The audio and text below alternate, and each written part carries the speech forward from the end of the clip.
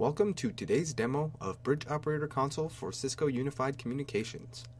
Today we will be playing Melissa Went, extension number 7601.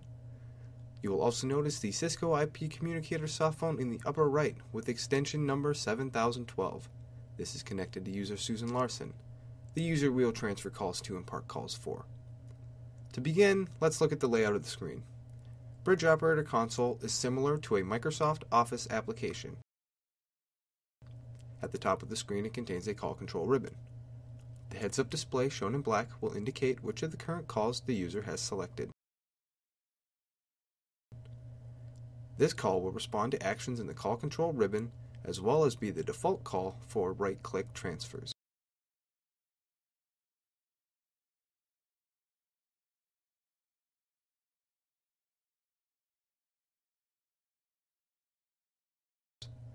When there is only one active call in the system, that will be the default selected call. When a second call arrives, the user can toggle between calls in the My Calls box.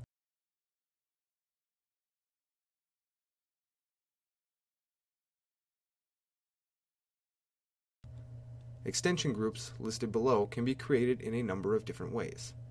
Global extension groups visible to all users, and local extension groups created invisible only to the operator.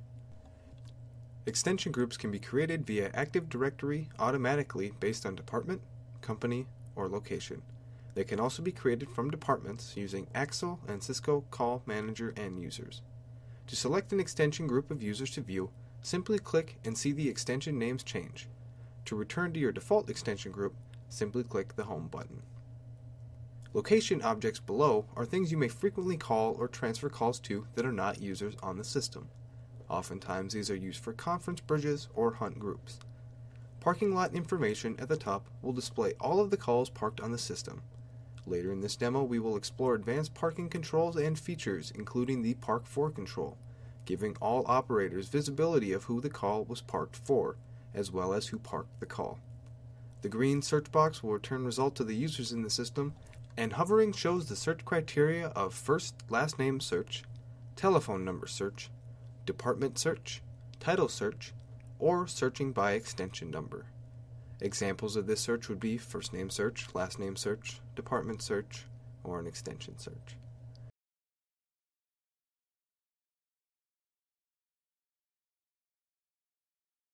Users may limit the search to the users that are currently on the screen by toggling the Search Global control, as well as Search Names Only control.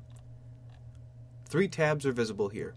This is the main focus of where the operator will spend the majority of their time in the application. The first tab, Extensions, will show the other users on the system. These will change based on the extension group or the search entered. Things that are visible in the extensions display panel are the user photo if one is available, the user name, call status, which can reflect on hook, off hook, hold, or forward and do not disturb statuses. You see, as we toggle Do Not Disturb on Susan's phone, within seconds that will be displayed within the console here, showing the current Do Not Disturb status. This can be useful before transferring a call. Users will also be able to integrate with our Exchange connector and see calendar-free busy activity. Here we can see Doug Johnson is in a meeting, and with a single click we can see when Doug Johnson will be available. Hunt group status is also displayed. Users will be able to see the status of user hunt group login and log out. This can be valuable for monitoring other users in the same group and deciding whether or not, for example, if there are three users logged in, Melissa Went can go to lunch. Chat status is also available. This can be tied into Cisco Jabber and Microsoft Skype for Business or Lync 2013. It will present real-time status for all users based on the user's instant message status. Extension call status call time are also available, as well as title and department. User notes is the final column. Sticky notes appear where there are user notes added. As we hover, we can see personal notes and shared notes. Opening the box allows editing. Shared notes are visible to all users on the system. Personal notes are only visible to their corresponding operator. When learning the application, it can be convenient to have a key displayed explaining what the icons mean. This is available here. The key contains keyboard shortcuts, call status icons, chat status icons, other status icons, and hunt group status icons. Toggling collapses the key.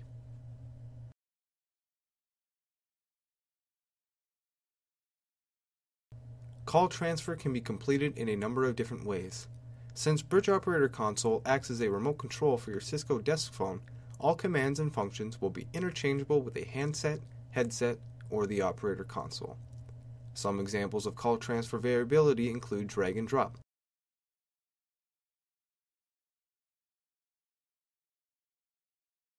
Upon dragging and dropping the first time, we are presented with a screen for options. Selecting the Make this the default action next time box will allow users to select the call function they want the drag and drop to perform, by default. This can be changed again in the settings, but allows users to drag and drop without the window returning. If you would prefer the pop-up, simply do not select the toggle box, but instead select your desired function, in this case, a blind transfer. We can follow up with the transfer and redirect the call back at ourselves if Susan does not answer. When Susan answers, the transfer follow window will go away and we will be able to see Susan's status in our bridge operator console.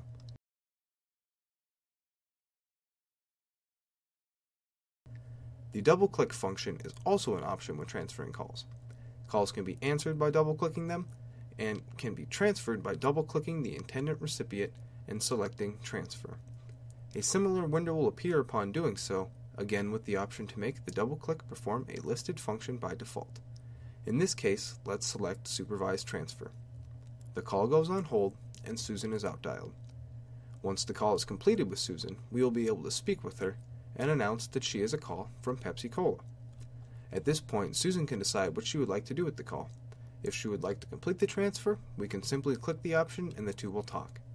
If for some reason she cannot take the call, we can abort the transfer, transfer to her voicemail box, park the call for her in the general parking lot, or park for her directly with the Park For control, which will notify the recipient. In this case, we will select Complete Transfer. The call leaves our heads up display and is now completed on her desk phone. Another call method is the freeform transfer. We will double click in the heads up display to answer the call and we will open the freeform transfer window. Here we can enter known user extensions and then click Transfer Call.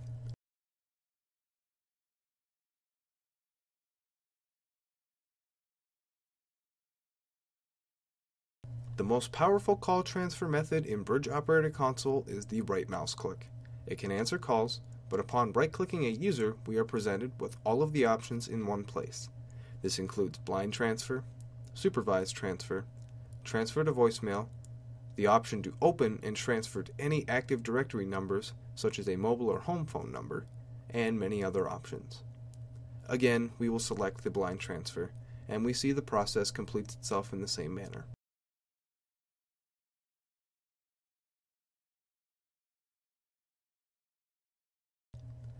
Keyboard shortcuts are also available.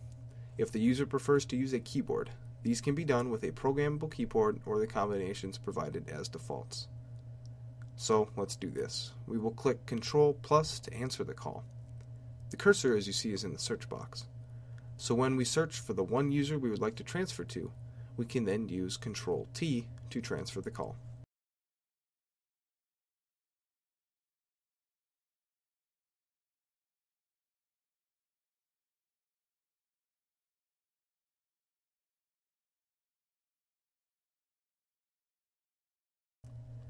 Parking calls is easy with Bridge Operator Console. It works with your existing Cisco parking lot. To park a call, we can simply click the Park button to send the call to the parking lot. To retrieve a call from the parking lot, we simply double click. You can also drag a call to the parking lot if preferred, and the number can also be dialed to take the call on your phone as well. In the parking lot itself, you have the options to color code calls that have been in the system for a certain duration. The options will include yellow, orange, and red, based on the time the call has been in the system. Progressively changing as the call remains in the system, it will first become yellow. As the time escalates, the call will be turned orange, and then finally red, giving the operator visibility management over the call park time. The major drawback to parking a call is that it requires a follow-up process. The user must either instant message email, or page a user or a group of users about the park calls so that they may be taken by another user. Several years ago, we at Bridge Communications developed the technology known as Park For. Park For utilizes the existing technology available in the Cisco handsets to streamline the second part of the parking process. We can park a call for Susan Larson using our Park For functionality. The call will be parked the same way in the Cisco phone system, but we will send a message to the user's Cisco desk phone showing them that they have a parked call. An audible notification will also be heard on the phone. They can then see where the call is parked, who parked the call, and who the caller is. Taking a call out of park simply requires lifting the handset or pushing the dial button.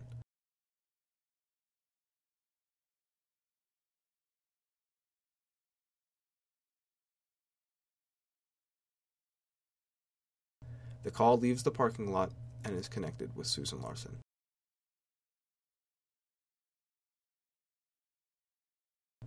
Bridge Operator Console contains a number of ways to find advanced information about users. One example would be the Active Directory Info Transfer. Opening this displays all the numbers the user has in Active Directory with the ability to transfer calls and call those numbers. Sometimes we may need to find a person who is similar to a particular user. Perhaps they are out of the office today and they would like to find someone with a similar set of skills to help the caller. In this case, we can use the Related People function in Bridge Operator Console. Related People will find the user's manager, assistant, secretary, people in the same department, people sharing the same title, and the team members sharing the same manager. This can be useful for finding someone like Derek Reiser. You have the ability to transfer, supervise transfer, and call any of these users, as well as see their related people.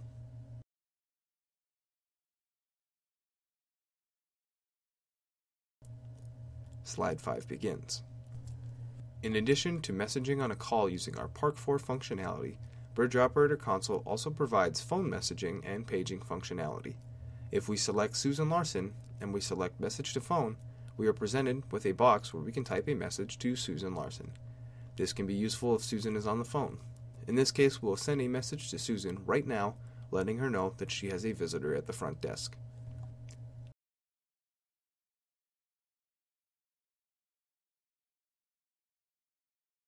The message is delivered almost instantly to Susan and does play an audio chime on Susan's phone.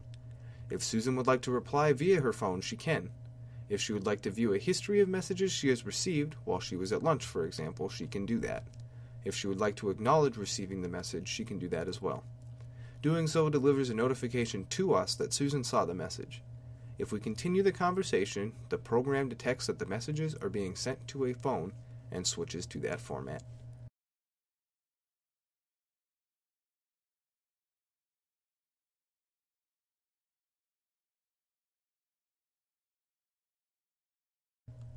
Voice paging is similar. We can right click on Susan and we can select Page to Phone.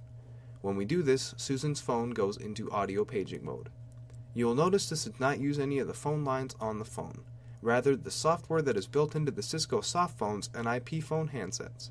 If Susan is on the phone, this will be presented as a whisper page in her ear. If she is not on the phone, it will open up her speakers and mute the microphone. When done, we can click Stop Paging.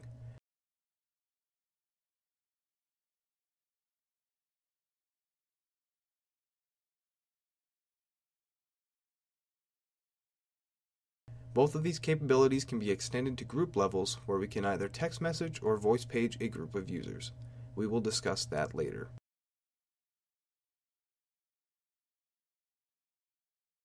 Bridge Operator Console provides two separate types of external address books for users. First is the My Address book, which is a personal address book for a particular operator. He or she can enter numbers here or have them pulled automatically from Microsoft Outlook contacts to be dialed or transferred to. Users can also send emails, change pictures, conference these users with a current call. Categories can also be created.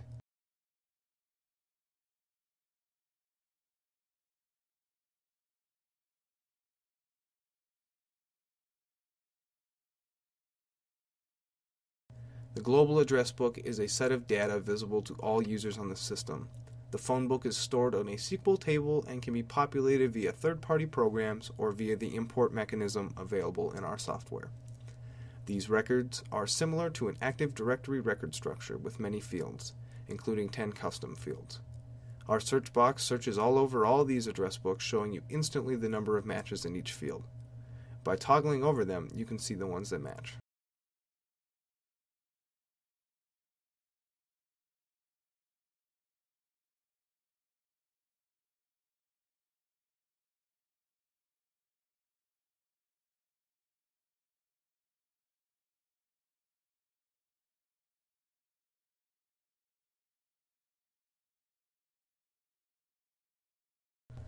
Bridge Operator Console contains a number of advanced features.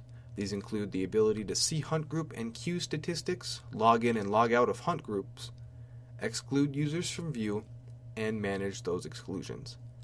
Bridge Operator Console can also show you the location of a call for geographic call distribution.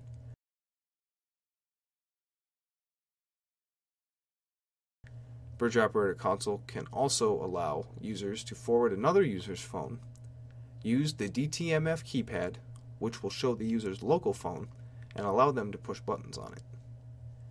With an add-on from OnPage, Bridge Operator Console can send your messages to pager devices.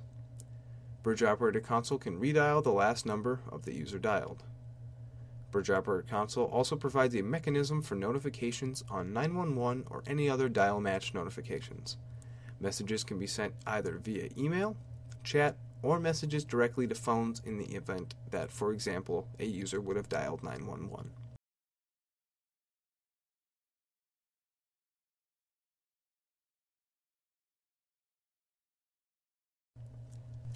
Bridge Operator Console supports many add-on functions. Three will be discussed in this demo.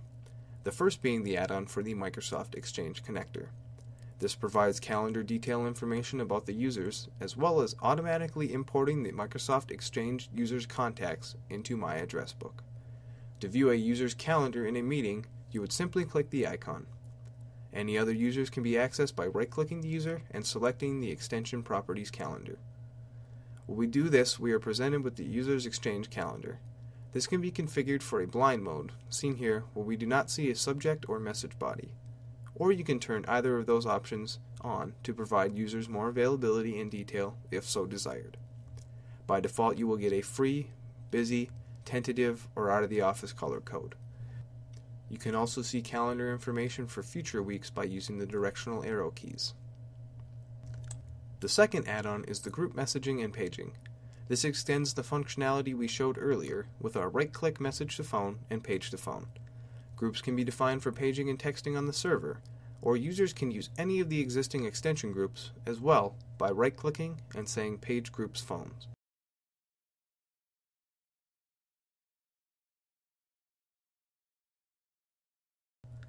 You will see all the users in that group now have their phones in voice paging mode. We can say whatever messages we like and stop paging. The functionality to send a message to a group of phones is the same as it is to a single phone and will be delivered in the same format. Users can also, with the group messaging and paging option, park a call for a group of calls. Each phone will receive a notification for the parked call. When one user picks it up, the other users will be notified and the message removed. The third add-on we will discuss is the Bridge Operator Console Medical Connector. This allows our operator console to interact with any hospital HL7 EMR HMR system. You can simply search for patients the same way you would search for any users, and using something like Related People will allow you to see their primary care physician or their primary care technician. You can transfer call to these users as well as to the room directly. Please discuss this with our sales team if you would like further information or an interactive demo.